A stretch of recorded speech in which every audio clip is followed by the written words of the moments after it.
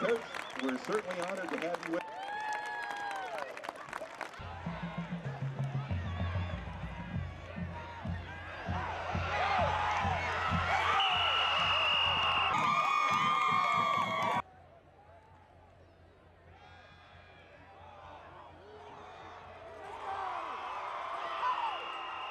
with us.